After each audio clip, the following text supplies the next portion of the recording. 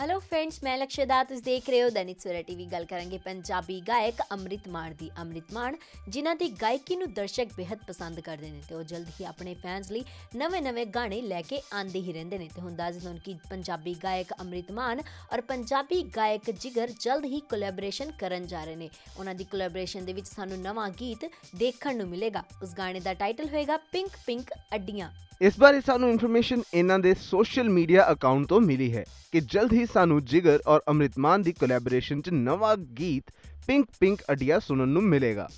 ਇਸ ਦਾ 뮤직 ਕੀਤਾ ਹੈ ਦੇਸੀ ਕਰੂ ਨੇ ਤੇ ਲਿਰਿਕਸ ਲਿਖੇ ਹਨ ਨਰਿੰਦਰ ਬਾਠ ਨੇ ਤੇ ਇਸ ਗਾਣੇ ਦੀ ਵੀਡੀਓ ਨੂੰ ਡਾਇਰੈਕਟ ਕੀਤਾ ਹੈ ਬੀ ਟੁਗੇਦਰ ਪ੍ਰੋਜ਼ ਨੇ।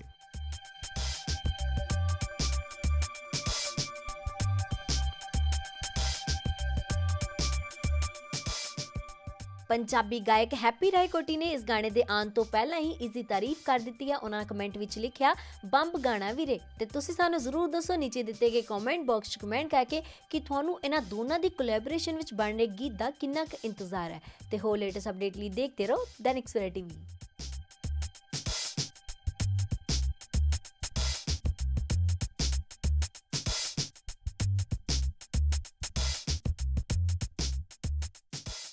ਕੈਨੇਡਾ ਦਾ ਸਟੱਡੀ ਵੀਜ਼ਾ ਸਿਰਫ 5 ਲੱਖ ਰੁਪਏ ਦੇ ਵਿੱਚ।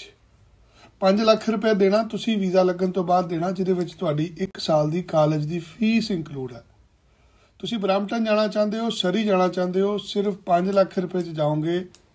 ਇਹ ਵੀ ਪੈਸੇ ਤੁਸੀਂ ਵੀਜ਼ਾ ਲੱਗਣ ਤੋਂ ਬਾਅਦ ਦੇਣੇ। All world open challenge 17 time gold medalist Mian Rafiq Mohammad पंडित मौलवी बेगम तांत्रिक इन चोरा ठगा तो सावधान स्पेशलिस्ट वशीकरण सट्टा नंबर लव मैरिज पति पत्नी च अनबन विदेश च पक्का होना कारोबार दा ना चलना सिर्फ़ 31 ਘੰਟਿਆਂ ਵਿੱਚ ਸਮਾਧਾਨ free free free Mian Rafiq Mohammad mobile 843747494647 84374 94648